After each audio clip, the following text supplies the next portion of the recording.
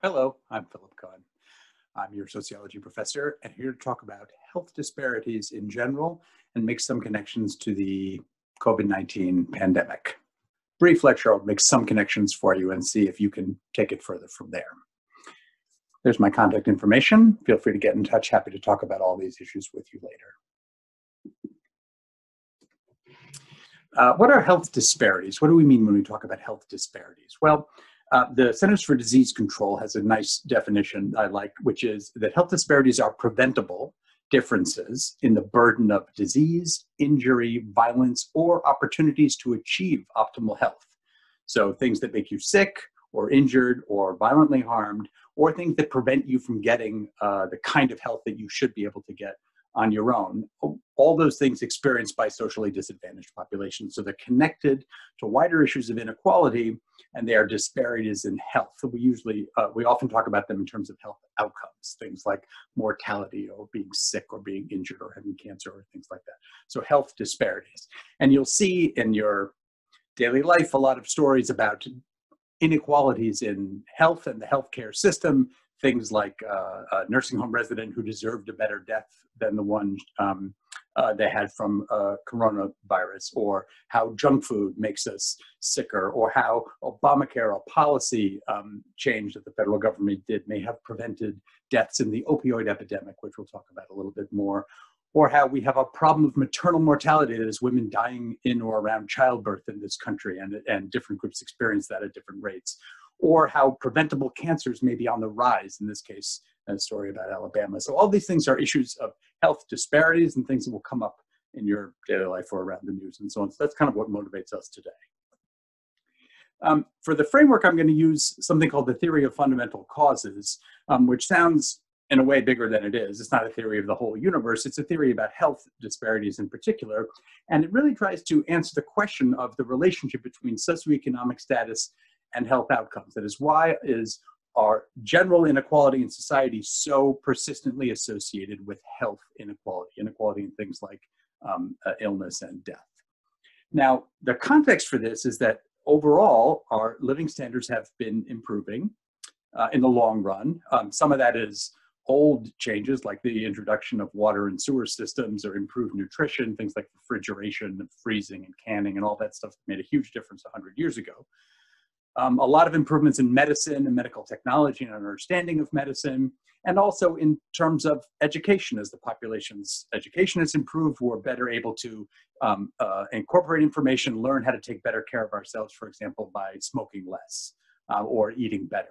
So you can see the chart there, just a very, in the very general sense, uh, in about 120 years, our life expectancy in this country has gone from a little less than 50 to almost 79 years. The average person born um, today, if nothing changed, would live about 79 years. We hope actually things will get better um, during those 79 years, but we don't know for sure. So why, as um, uh, things have gotten better, is there still such a strong relationship between health outcomes and socioeconomic status, or, or, or why are, are, are other inequalities still so strongly associated with health inequality? So um, the answer that the, that the theory of fundamental causes gives us is that income and education, which is sort of the building blocks of so, socioeconomic status, bring more resources that are beneficial to health. So money, knowledge, prestige, power, uh, and benefit, beneficial social connections. So who you know, who you interact with, who you learn from, who helps you, and who you help. Um, all of those things are um, uh, uh, resources that people with higher socioeconomic status have that people with lower socioeconomic status have less of and that improve their health. Um, and the key thing, the, the key insight of this theory is that as the health system evolves and as our general health has improved, socioeconomic status is still enabling those with more resources to have better outcomes than those with worse resources or fewer resources. So um, it, it's a moving target, but this helps explain why we always have that gap. I'll give you some examples of that. Um, uh, when you look, uh, uh, here's a study that looked at people who were born in 1960 and asked, what is the chance, if they made it to age 50, what's the chance they would make it to age 85? And it compared um, that chance by their incomes. And so you can see here it's by men and women, and the, the population is divided into income fifths. The poorest fifth of the population, the second, the middle fifth, the fourth fifth, and the fifth, the richest fifth. And you can see that the richer men and women have a much higher chance of making it from age 50 to age 85. 77% chance in the case of women, 66% chance in the case of men. But down in the poorest fifth, it's much lower. Only about 30% um, uh, of them are expected to make it from age 50 to age 85. So, very big difference by social, social class in life expectancy, in this case, of people who made it to age 50. So, people with higher family incomes live longer. And the reasons for this are their better living conditions, their better health care, and their better health behavior that's partly facilitated by their resources, um, and including education. Here's another one um, specifically about health behavior smoking. Uh, uh, people who uh, uh, uh smoke um, uh, obviously are at risk for um, lung cancer and other health problems. And you can see here a very strong gradient on education. So people with graduate degrees, only 37% of them smoke. And as you move down the education ladder, you get the people all the way down with GEDs, the general education degree, 36% of them smoke. So a very strong um, education gradient. Um, and and, and uh, uh, we see this with a number of other health behaviors also. So we assume part of what's happening is through the process of education, people learn better health behavior, but also um, who they interact with, the circles they they go in, and the other the other resources they have access to are helping to promote these um, better health behaviors. If you have more education. Um, here's a long run um, uh, disparity where we can talk about infant mortality and race um, especially uh, specifically blacks and whites. So infant mortality is uh, uh, uh, the death of a baby between birth and age one. Um, so you can see in 1850, uh, 340 out of every thousand black babies born were estimated to not make it to their first year, so about a third versus 217 of the white babies. And you can see this tremendous progress um, really for both groups since 1850 to 2017, which is not too surprising. But you also see that race gap persisting all the way along. So it was um, 340 to 217 in 1850, all the way down now to 11. Only 11 out of every thousand black babies don't make it to their first year, tragically. That's still more than twice the five out of every thousand white babies that don't make it to the end of their first year. So as infant mortality has declined, that gap has persisted. And that's really what the theory of fundamental causes would predict. And we can look at the specific mechanisms that drive this, for example, the living condition, differences between blacks and whites, um, things that contribute to their overall health, um, including nutrition and healthcare and uh, um, uh, the occupations that they work in and so on, and then discrimination in all various forms of life, from everywhere from where people live to the education to the healthcare system and so on. So we can we can look at that the influence of those factors all the way through time, even as the situation has gotten better, that the gap is persisting. It doesn't mean it inevitably will, but it's just what we um, what we have seen so far, and so we're not surprised if we keep seeing it. Um, uh, a more recent um, uh, concern has been uh, the dramatic, until this year with the coronavirus epidemic, the dramatic um, uh, opioid epidemic that we had in the last 20 years or so in this country. Um, this map shows uh, where there are the most uh, opioid overdose deaths um, uh, in the population. And you can see they're very concentrated, especially in Appalachia um, and other economically distressed areas, sort of places where the industrial economy has uh, has collapsed or shrunk or disappeared. So you see those other areas in the upper Midwest, for example. Um, so um, that's a case where um, the resources available to people at the local level in their geography um, are, are contributing to their worse health. So it's having lost jobs, um, having less opportunities, and then also having had opioids introduced, for example, when people get injured on the job. Um, and all of that has snowballed into a massive epidemic of, addiction to opioids, whether uh, prescription drugs or heroin or fentanyl, other legal drugs. Fentanyl could be prescription too. Okay, so that's a that's a taste of a few different um, uh, uh, health disparities and things that we look at by education, by um, by income, by race, and um, by geography. So that sort of sets us up a little bit to talk about what's going on now with the, uh, the COVID-19 pandemic, the coronavirus pandemic that we're dealing with now, and the reason why you may be watching this video. Um, just a little bit of background, the coronavirus um, uh, is, is, a, is a group of diseases um, uh, that affect humans and other species. Okay, so we have this group of viruses. Some of them are very mild and some of them are quite serious, like the one we're dealing with now. This one is the novel coronavirus 2019, was discovered in Wuhan, China in late 2019. Um, we now call um, the disease that that virus causes COVID-19. Um, there's a couple of references there you can follow. So that's just for background what we're talking about.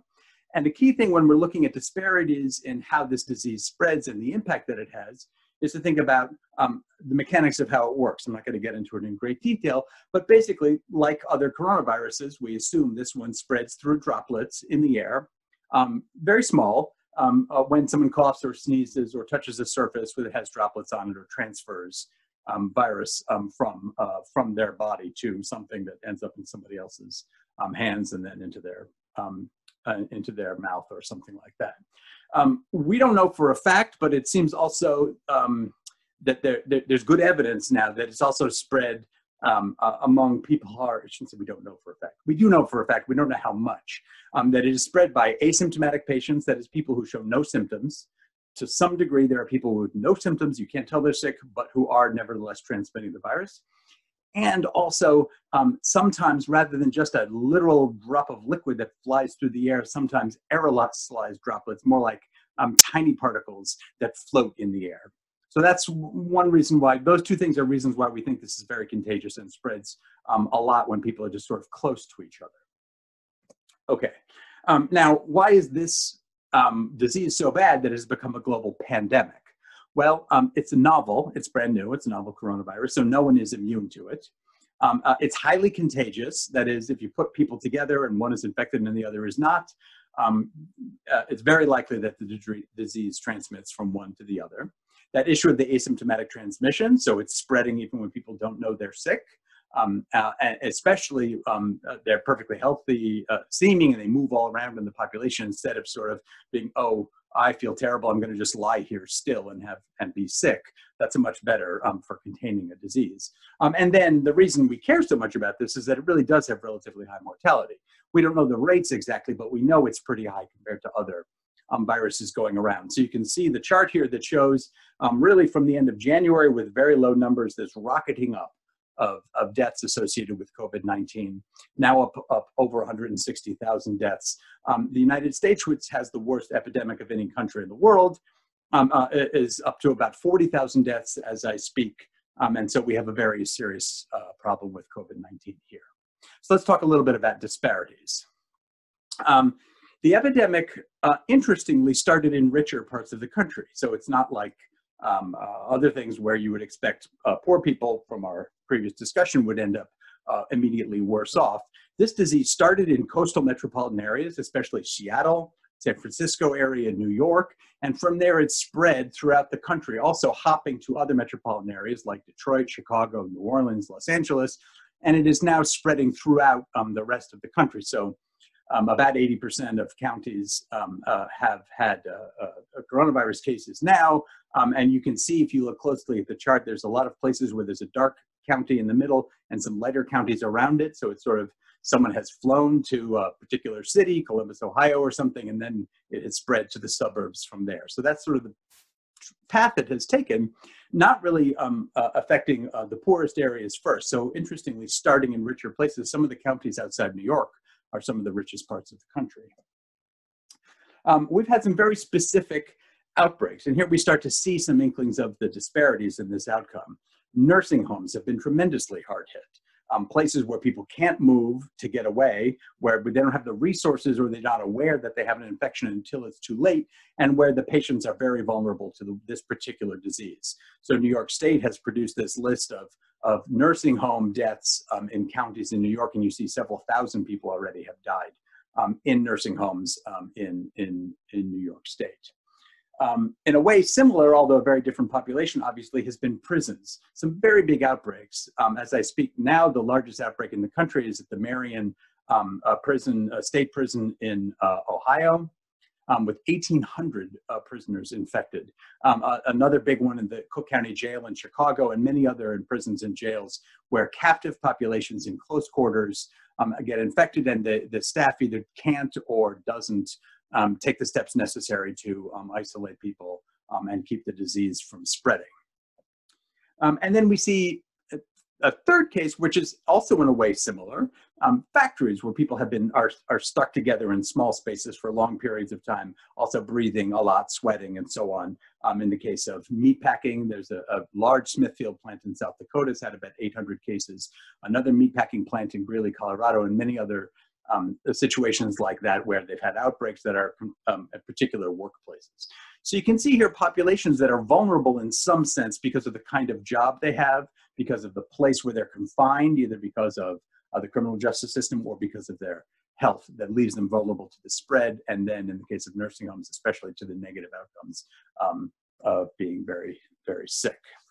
Um, so let's talk a little bit about how we get disparities in the coronavirus uh, uh, um, specifically. So the physical concentration is one key issue. Um, uh, another big issue has been workers who are exposed to, e to each other a lot, but also especially when they're exposed to um, people who are already sick. And this is um, the healthcare workers, especially doctors and nurses and, um, and nursing assistants and other uh, workers in hospitals, um, but also service workers, people who work in uh, restaurants and grocery stores and uh, make deliveries uh, and uh, any kind of service provision that involves um, uh, being close with other workers and especially being close with members of the public. Um, uh, and then uh, in that category of exposed workers are really anybody who can't do their work from home like I'm doing now in my home studio delivering a lecture. A lot of people's jobs simply don't allow that or they don't have the resources or the liberty to do that. And so their job puts them at risk.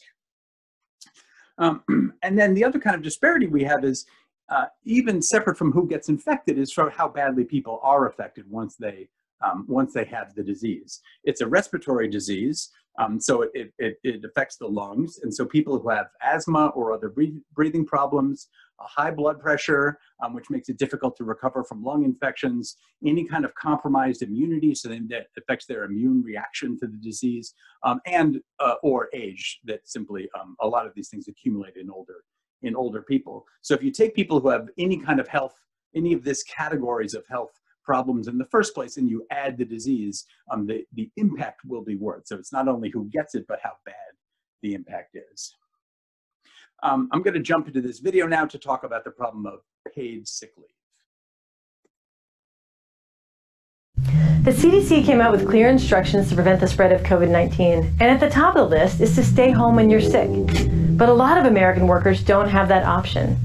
27% of private sector workers don't get paid sick leave, and that's going to make this pandemic a lot more problematic than it needs to be.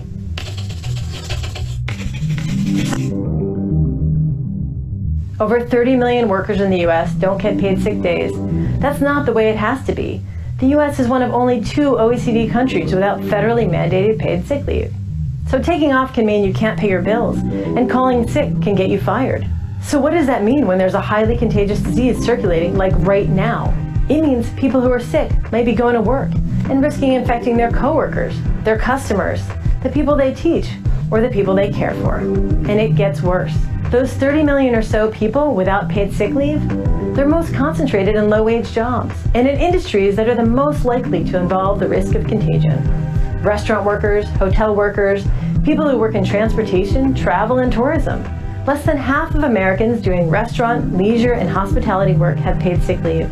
And for the bottom 10% of wage earners overall, only 30% do. With the coronavirus crisis we're going through today, paid sick leave isn't just the right policy for workers, it's essential to our public health. Thank you to Elise Gould from the Economic Policy Institute. Um, she's talking about the policy problem there that the law does not require people to, to get paid sick um, uh, paid sick leave from their employers, and so you end up um, putting workers at risk and the people that they work with. Um, the Bureau of Labor Statistics um, uh, does a survey where they ask one of the questions they ask people is, um, do you work at home? Could you work at home? And using that question, can you work at home? Um, they broke it down by occupation, education, and race ethnicity, and I, I have that for you here.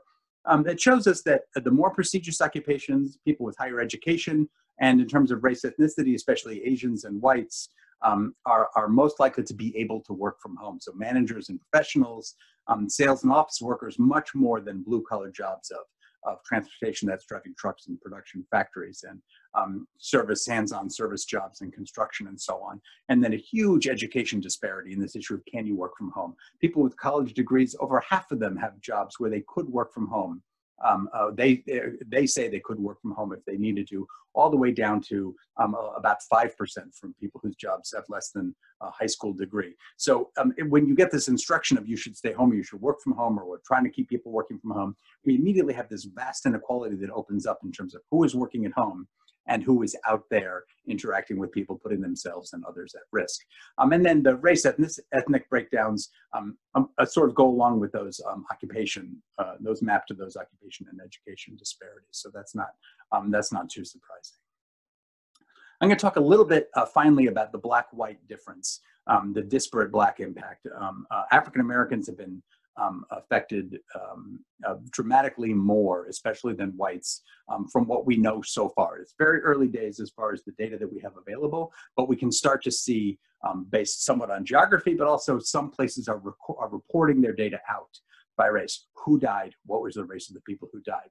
Here's just five places, Washington, D.C., Chicago, Louisiana, New York State, and then New York City specifically, sort of going up um, in places that have had more and more um, serious outbreaks. And you can see in every case, um, blacks are much more likely to have lost their lives from coronavirus than whites are um, in all these places. And there are a few others that are collecting this data uh, uh, as well. So we're seeing this disparate impact. We want to talk a little bit about why we would. Um, uh, uh, what would, what, what, and what about this fundamental cause theory would help explain that? Okay. Um, so the poor resources, um, especially um, uh, regarding living conditions, would already have conditioned um, blacks to have worse health than whites, so they're more vulnerable to the impacts. Remember that chart I just showed you was deaths, not infections. So those are the people who actually died, and that means most likely they had some kind of health problem uh, going into it. Um, uh, the lower levels of education and discrimination in terms of what jobs people have, um, what, whether they have jobs with benefits or flexibility or ability to work from home, and all those things that we were just talking about, racially unequally distributed by race. Um, the, the workplace policies themselves, where, where um, uh, do they work for an employer that, um, that uh, allows flexibility, that, uh, that provides sick leave, uh, and so on. So we, there's racial disparity in that also. And then um, the healthcare system itself, the earlier healthcare um, or lack of healthcare, because we still live in a country where a lot of people don't have health insurance, um, affect outcomes not only before they get sick, but when they also when they get sick. So the hospital they go to, the doctor they go to, when they uh, when they already have um, the coronavirus, COVID nineteen, the disease. So these are all reasons why we would expect the lack of resources, uh, in this case associated with blacks compared to whites, um, uh, that blacks have versus whites will have uh, created this disparate impact in terms of the impact of the coronavirus. Um, uh, and, and, this is just a taste of one particular um, uh, disparate impact um, in terms of the difference between blacks and whites. But as this epidemic unfolds uh, through this country and around the world, that gives us a taste of the kind of things we're going to look for to understand this and many other disparities that we're likely to see. Thank you for listening.